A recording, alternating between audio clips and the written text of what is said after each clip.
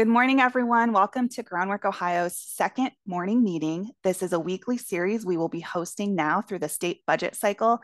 We're really excited to welcome a variety of public policy experts, lobbyists, elected officials, and other leaders. And I'm really, really excited to share uh, today's speakers with you, our friends from the Ohio Association of Food Banks. We have Joree Novotny, who is the executive director at the food banks. She started in this role last year after 13 years in progressive leadership roles throughout the organization, including managing communications, grants, and contracts and public policy as their external relations director. Most recently, she served as chief of staff. Prior to joining the Ohio Association of Food Banks, Joree was um, an AmeriCorps Vista member at the Akron Canton Regional Food Bank. In her role now as executive director, Joree is honored to represent Ohio's 12 Feeding America food banks, their 3,600 local hunger relief partners, and the millions of Ohioans who are at risk for food insecurity. We are also welcoming Hope Lane Gavin, who is the Director of Nutrition Policy and Programs with Ohio Association of Food Banks.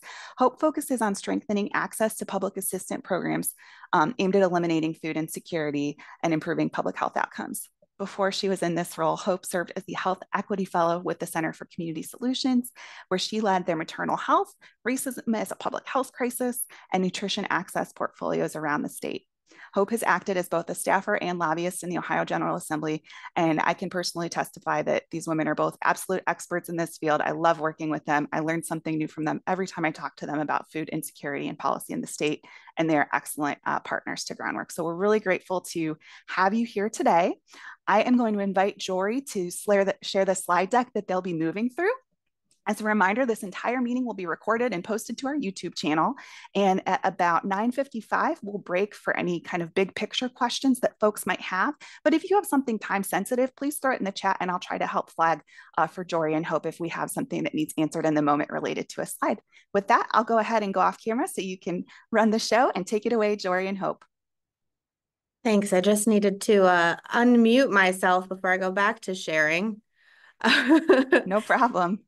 Perfect. Um, had it down until I needed to switch that around. Okay, we're all set.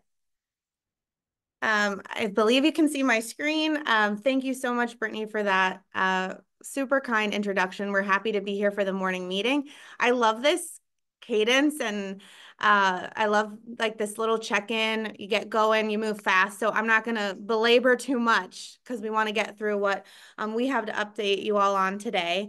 Um, Brittany and the team at Groundwork Ohio that we're, we're happy and proud to partner with asked us to talk with you a little bit more generally about food insecurity and its impact on um, young children and their caregivers and families, and then zoom in a little bit on WIC in particular, the Women, Infants, and Children program. So I'm going to do the first part of that, and then I'm going to turn it over to my colleague Hope to do the next part. Um, as Brittany shared, we represent Ohio's largest charitable response to hunger. So we work with Ohio's 12 Feeding America food banks and their partners to provide food and other resources to people in need. And we work on a lot of a lot of public policies because we know that hunger is a symptom of poverty and poverty is a symptom of many root causes. Um, so just for folks that aren't familiar with our network, the food banks that we represent are multi-county, multi-service organizations that have large warehouses that bring in and move out millions of pounds of food every year. And they have many, many spokes and wheels of very different sizes and shapes and um, experiences throughout all 88 counties in Ohio. Those are our 3,600 local hunger relief partners many of whom are food pantries, but we also support supplemental feeding sites, hot meal programs and shelters, um, and place-based services. In our most recent fiscal year, so you kind of get the scope of the impact that our collective network has, um, just through our food pantry network, we provided take home groceries to households with children, just our households with children, more than 2.2 million times. Um, children make up about 30% of everyone we serve. And of course, those children live in families, and we're serving a huge number of them throughout the year. Um, we provided about 73 million meals worth of food just through our emergency food pantries alone, just to kids last year. Um, and of course, we serve any Ohioan who's income eligible and needs our help. I wanted to briefly share with you some um, learning that we did through a statewide hunger study earlier this year. We anonymously surveyed 2,300 neighbors who came to food pantries and food distributions across the state.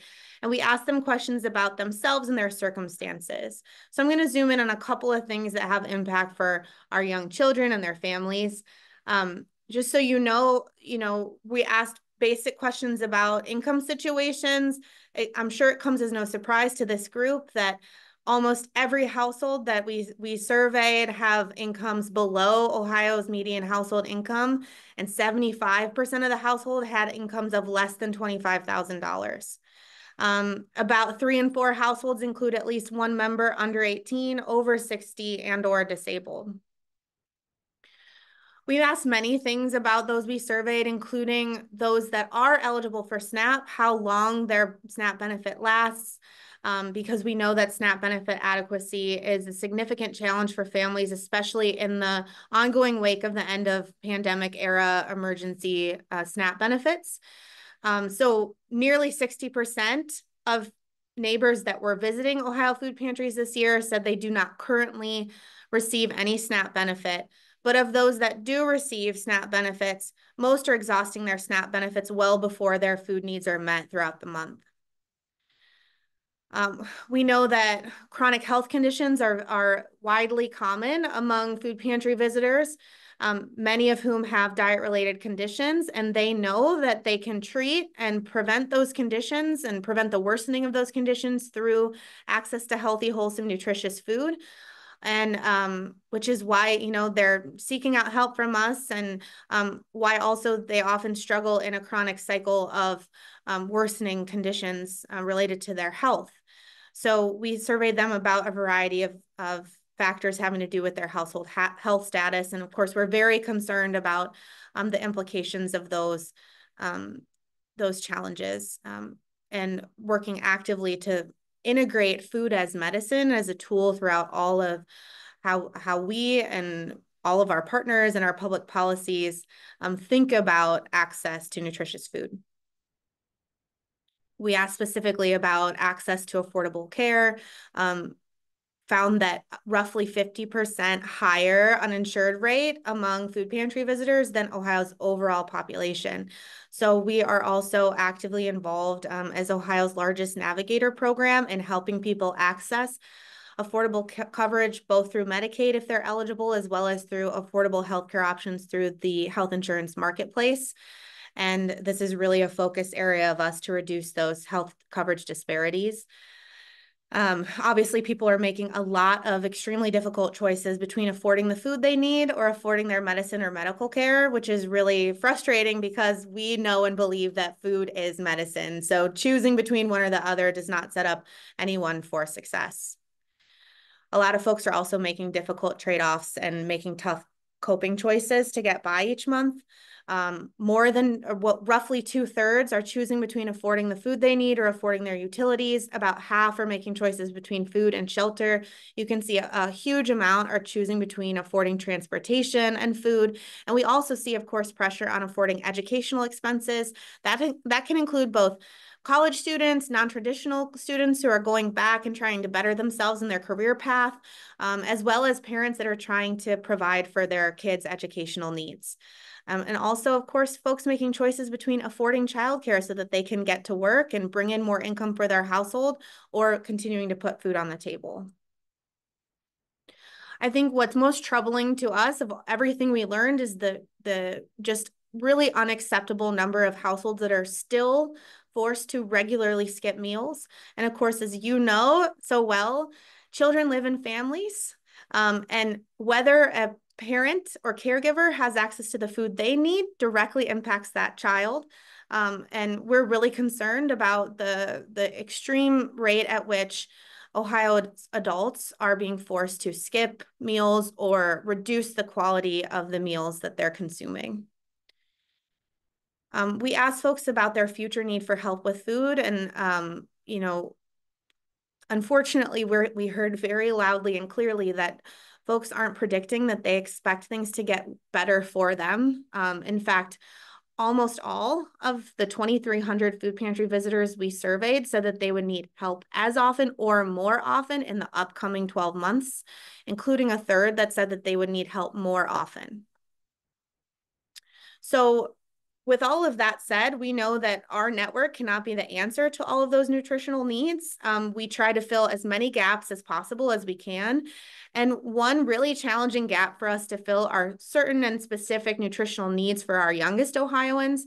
Um, I Hope's going to go into kind of the state of WIC a little bit more, but I just wanted you to have the scope of what we're trying to do on a day-to-day basis to meet um, ongoing nutritional needs and the um, breadth of what we're doing as a statewide emergency response network um, so that we can really zoom in on how critical it is that every person who is eligible for federal, federal nutrition programs like WIC has access to it. And I, I will turn it over to Hope to provide you an update on the state of, of WIC in Ohio.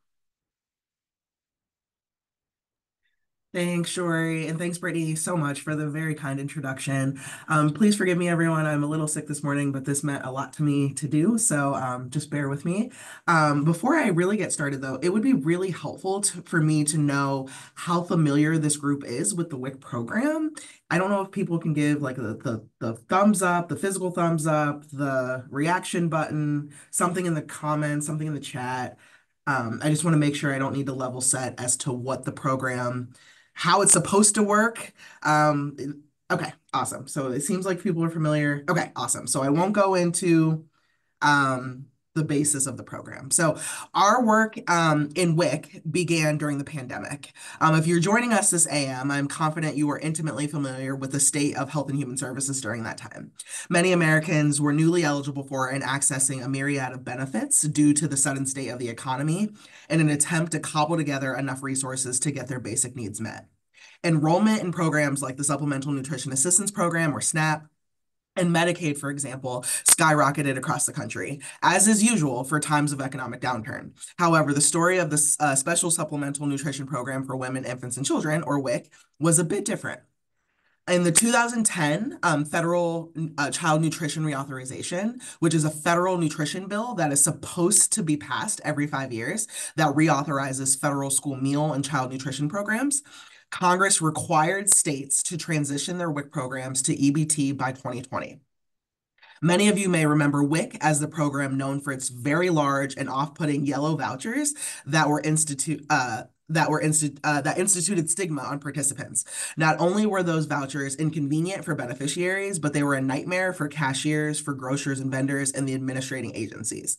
As part of this transition to EBT, states needed to make a decision on whether or not they were going to continue having their programs be offline or online. Offline meaning that although benefits themselves are being transmitted remotely to grocers, appointments and interactions with the agency needed to be in person, and physically getting the benefits onto the card needed to be in person. So WIC staff have to physically run WIC cards through a machine just to get the benefits loaded onto the card every three months, in other words. So Ohio is one of nine states who chose to uh, maintain an offline WIC program.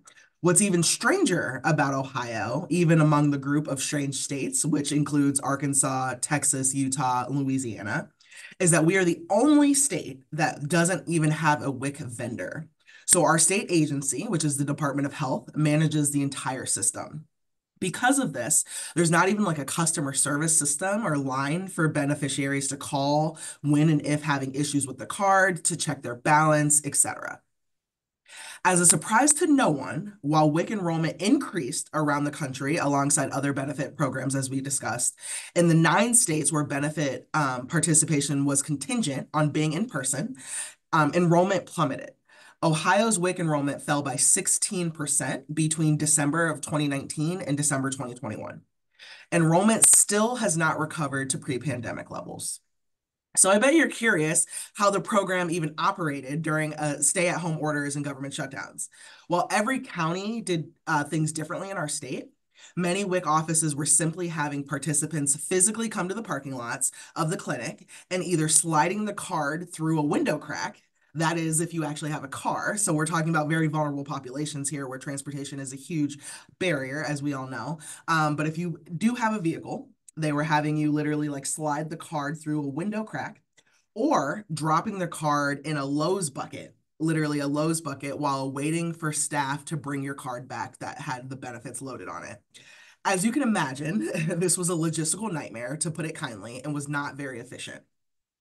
So in 2021 and 2022, we did interviews with both county WIC administrators as well as WIC participants around the state to determine what the biggest barriers were to participation.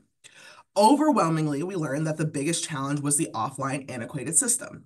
It's truly a time tax, it's truly a burden. Other challenges, though, um, unrelated to being offline, include um, not being able to use the benefits at self checkout, um, vendor compliance is also a huge issue. So if you think about it this way, um, one of the one of the aspects of the WIC program is a is a fruit and vegetable voucher, a fruit and vegetable cash voucher, and so you get the voucher, and you know most people are very familiar as to what a fruit and what a vegetable is.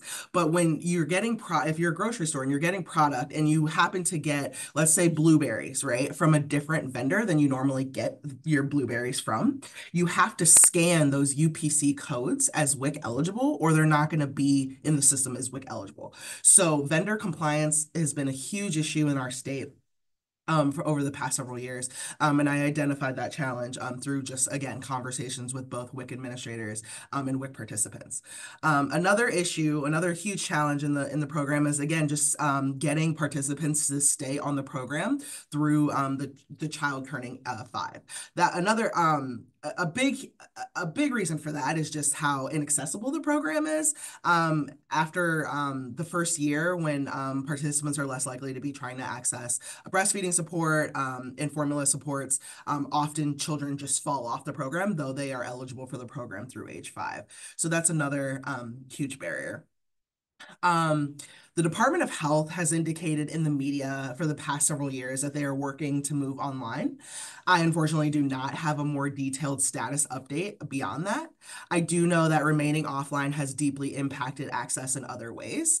Um, the formula shortage is um, another um, aspect of that, which many parents would argue is still going on. Um, the form, the being offline um, made it incredibly difficult to have any flexibility um, when it came to the formula shortage just I was going to say just a few years ago, but again, I've heard from many parents um, that there's still um, empty shelves um, depending on what you're looking for, um, especially when it comes to Similac and Abbott. But um, but the being offline made made the USDA, when the formula shortage was was at its height, USDA had um, flex built-in flexibilities for um, WIC participants to be able to access. Um, if, if you're familiar with the WIC program, you're familiar with uh, it's very prescriptive, and so you are participants are prescribed like a very specific brand, a very specific size, um, and um, but there's flexibilities built into that offline states were not able to utilize those flexibilities due to the fact that any changes to your um, benefit package had to be changed in person. So if you imagine if you're a parent and you go to Walmart and your child normally takes the blue can of Similac and you're prescribed 16 ounces. And you go and they don't have that blue can of Similac, but they do have the orange can. And you're like, okay, I need something. I'm just going to try to take the orange can.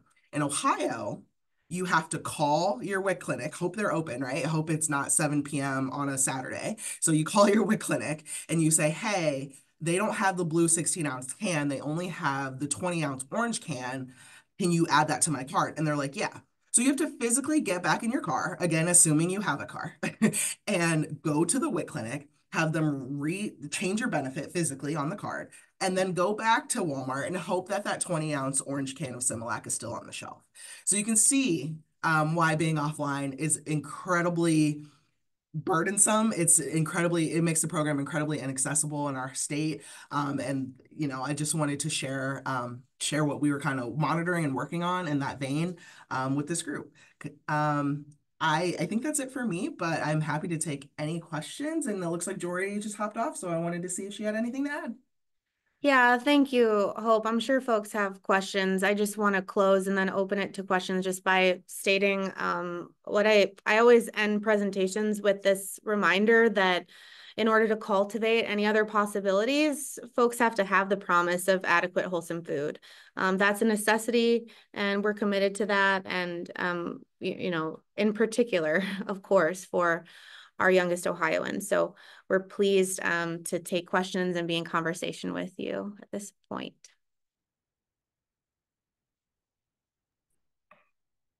Thank you both so much. And I see some questions already popping up. I'll go ahead and start with Kayla. Thanks for popping your hand into the chat.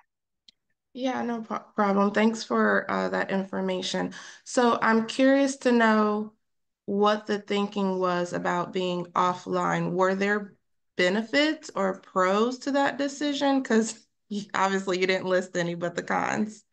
Yeah, great question, Kayla. Yeah, so honestly, um, the program, the, the history of the WIC program is, con some would argue, is it's a nutrition program, but it's also a health program. And being offline allowed far more interactions with the with the beneficiaries again requiring them to come in do nutrition education um, touch base in person like there is a lot of value in that. Um, and that can be done online too which is why you know the other 43 states chose to do it that way. Um, but the thinking was is like basically maintaining the in-person requirement um, helps with the fulfillment of what the program was supposed to, to do. Thank you hope. Are there other questions out there before groundwork always has questions. So we'll pause and let others try. And I'll just note while folks are thinking, um, we have been chatting with Hope and Joree as we develop our public policy agenda coming into the next budget cycle, which we'll be sharing next month. Um, but we've definitely added provisions around um, some of the barriers that WIC just or that Hope just described around WIC access. So, um, including uh, online renewals, permitting telehealth appointments, um, and enabling WIC benefits to be automatically uh, reloaded. So um, some of those are already included in our public policy agenda, and we'll keep in close contact with Hope and Joree about ways that we can amplify those and legislators who might be warm to these ideas. Can yes. I make a follow-up comment? Of yeah. course. Okay, so um, I am an early childhood mental health consultant, and we live in that um, prenatal to about preschool audience range. And to your comment about uh, connection, I'm just thinking out loud. I know we're all here to like, I guess, connect and put resources together and things like that. That is where we live of like building relationships and connections and uh, positive coping skills and things like that.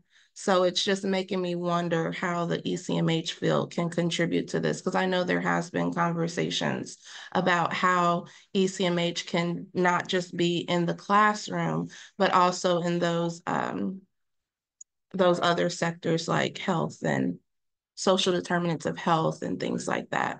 So that's very interesting to me. Thank you so much for sharing that. I think that um, often the well, always the most effective advocates are the people living the experience, and the next best advocate are the people who are providing daily services to um, those who are impacted by good or good policies or policies that have room for improvement like we talked about. So um, it couldn't be more valuable. Um, like when we talk about for example um, healthy school meals for all and what we saw during the pandemic in the way of um, access to every child in their school or at home um, through non-congregate feeding mechanisms that were put in place during the pandemic so that every child had access to breakfast and lunch through their school system. Um, and what we've lost in the aftermath of, of, of that policy at the federal level, um, I think like that's been so successful because teachers have continued to raise their hand and talk about what they see every day in the classroom and how it directly impacts you know we can have all the data and research in the world and we need it but we also need the direct lived experience. So so thank you. Thanks Joree. Do we have any other questions among our group I know we've got some folks who um, are leaders in the childcare space uh, that are on the chat today.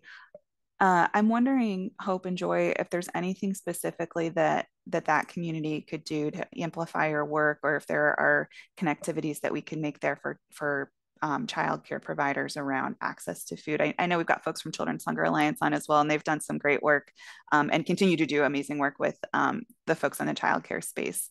Is there any specific ask we could make of those folks today? And I didn't prep them for this, so sorry. No, I'm just no, I'm no. just brainstorming. sure, absolutely. I think that um, I'll just say briefly that the the historical landscape of charitable hunger relief is rooted in the faith-based community. And there was a time at which the vast majority of providers of emergency hunger relief were within the faith-based community. We still have a very significant and rich commitment from across ohio from the faith-based community toward um, access to food nutrition. But we've also seen of course attrition in the number of congregations in their ability to participate in that work. Um, and often it makes it um, there are areas of the state where um, declining participation in, in worship and places of worship are leading to declining access to food. So we have often pivoted to place-based services, especially in communities where that kind of transition and attrition is occurring. Um, and so if you think of yourself as a place-based, a trusted provider that families know and have access to, um, we know that you have a lot on your plates, but you, you're familiar with your kind of local landscape in the same way that so many of our schools, our K through 12 schools are and our libraries, these are very common place-based partners where we can um, help to make connections to food access that, you know, might not have been how we did it in years past, but how we need to do it going forward so that we don't lose access to that food. And we always welcome you to join our uh, action alerts. We, of course, um, share many of the same advocacy priorities with our partners at Groundwork and through the table at the Advocates for Ohio's Future um, space and coalition. Um, but you can visit ohiofoodbanks.org and sign up for our action alerts and stay tuned with both federal policies as well as state level policies. Amazing. Thank you, Joree. And I put the link to the website in the chat. So I encourage everybody who's on our call today to visit their website and sign up for those action alerts. I see Hope also put her email address in the chat as well. So if you think of questions after today, um, or if you um, have kind of follow up around some of these place-based connectivities, feel free to reach out to, to these wonderful folks and I'm sure they can help connect you with the right folks.